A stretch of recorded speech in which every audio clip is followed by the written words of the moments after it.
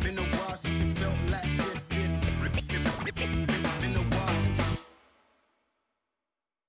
僕のところにですね、ある日、疎遠だった友達からご飯でも行かないか連絡が来たんですよね。この友人っていうのがなかなかの変わり者で、ぶっきらぼうなやつでですね、適当な感じで言葉も足りない、まあそんな性格のやつなんですよ。そんな疎遠だった昔からの友達の誘いっていうのもあって、僕もちょっと聞きたいこともあって、ことにしたんですよね。で、車で迎えに来てくれて、乗ってから車が走り出して、開口一番、ばあちゃんが死んだ。ってこうやって言ったんですよ。このばあちゃんっていうのがですね、地元の名物おばあちゃんと言いますか、結構なご高齢なんですけど、かっこいいバイクに乗ってるようなパンキーなおばあちゃんでして、しっかりした大きいバイクに乗って、おーいなんて声かけてくる。僕もですね、おばあちゃんなんて言って、挨拶するくらいなもんでしたから、亡くなったって聞いて、ちょっと残念だなと思って、ったんですね。その原因というのがですね、ご高齢になって入院されて、その後ご病気で亡くなってしまったと。そんなばあちゃんのことをポツンとつぶやいた後ですね、そのことでいろいろ大変でやっと落ち着いたところなんだよ。まあそれは大変だったよね。それが違くて、ばあちゃんが亡くなってから淡々と葬儀の準備がされて日程も決まっていったっていうんですね。ただ彼、仕事の忙しさとめんどくさいなっていう気持ちがあったらしくて、通夜と告別式サボって出なかったそうなんです。彼がおばあちゃんと再会したのは全てが終わった会場で綺麗な箱に小さくなった後だったそうそうなんですね。手を合わせて親族と少しお話をして家に帰ったっていうんですよ。その日は明日も朝が早いっていうことで早めに寝たそうなんです。すると夜中にですね、インターホンが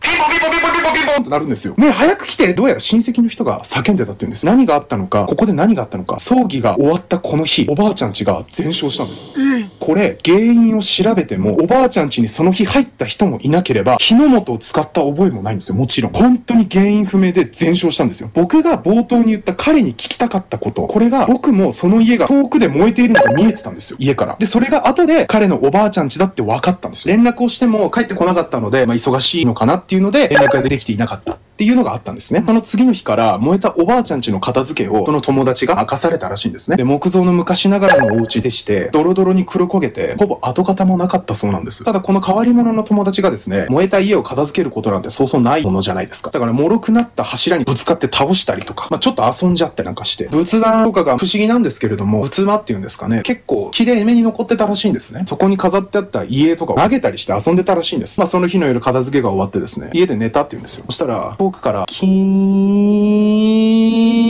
ンってだんだん耳鳴りが大きくなってきて、うわ、うるさいなと思ったら、ガチッって金縛りにあっちゃったんですって。で、目が開けられなくて、耳鳴りだけがずっと耳に負担をかけるように痛くなってる。すると、頭の上にある襖の奥から、タッタッタッタッタッタッタッタッタッタッタッタッって、玄関の方から裸足でかけてくる音が聞こえてきたって言うんですよ。玄関を開ける音も、襖を開ける音もしなくて、直線にこっちにかけてくるって言うんですよ。急に部屋の中に足音が響く感じですね。で、頭の上でそれが止まるって言うんですよ。あ、誰かいるただ、目が開かなかったらしいんで、その次に空気の流れを感じたんですって。人が動く空気の流れ。それが、誰かが勢いよくお辞儀するように自分の顔を覗き込んだって言うんですよ。自分の顔のすぐ前に誰かの顔がある。息遣いまで感じたって言うんですよ。次、僕の友達が意識がはっきりしたのは、アラームの音でだったそうなんです。勘違いだったのかなって思って仕事を終えて、その日も帰宅したんですよ。でも、また夜になると、同じ時間ぐらいに耳鳴りがキーンって聞こえて、ガチって固まる。タッタッタッタッタッタって一直線でかけてきて、顔の前に顔がグンってくる。何もしては来ないんですけど、そんなぶっきらぼうな性格の変わり者の彼でも、さすがに怖くなってきたって言うんですよ。さらに次の日、もう寝るのが怖いんですよ。ただ、頑張って起きてたんですけれども、だんだんうとうとして、こくりって寝ちゃったって言うんですよ。そしたらまた同じく耳鳴りの後に金縛り、向こうから走ってくる。ここまでは一緒だったって言うんですよ。ただこの日は違ったって言うんですよ。自分の頭のそばまで来た後、